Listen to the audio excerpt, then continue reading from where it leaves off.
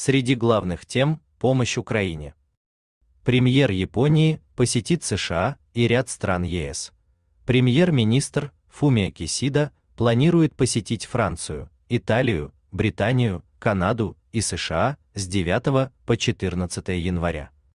Об этом сообщает РБК Украина со ссылкой на Japan Today. В ходе поездки запланированы встречи с лидерами стран для обсуждения широкого круга тем, среди которых важное место займет обсуждение российского вторжения, а также новые шаги по военной и гуманитарной помощи Украине.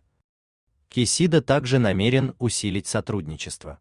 Для успеха саммита G7 в Хиросиме под председательством Японии в этом году. Ранее мы писали, что Япония планирует пригласить президента Украины Владимира Зеленского принять участие в онлайн-формате в саммите G7, который пройдет 19-21 мая в Хиросиме. Также сообщалось, что Япония начала подготовку саммита стран Большой Семерки, который должен состояться в Хиросиме в мае 2023 года.